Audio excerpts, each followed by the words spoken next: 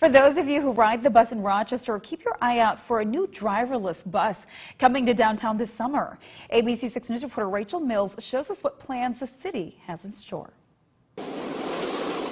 Getting around in Minnesota winters challenges all of us. But now that it's spring, the state is introducing something new.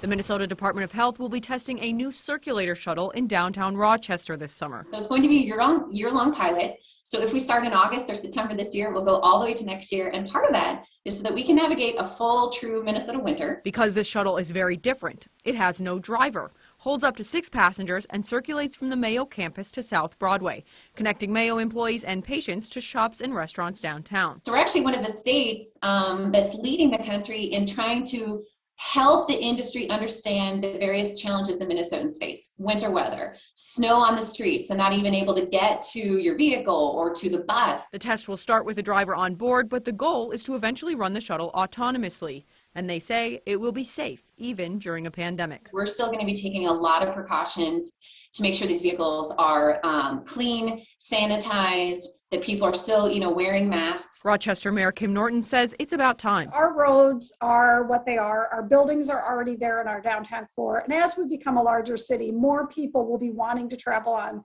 the infrastructure that we currently have and that is very limiting. Mayor Norton also has her eyes on a much larger project for the future. I still talk a lot about um, high speed rail for commuting back and forth between the Twin Cities and Rochester as well as having a connection from Rochester to Chicago. She says everyone benefits from faster transit and less car emissions on the freeway. In Rochester, Rachel Mills, ABC 6 News.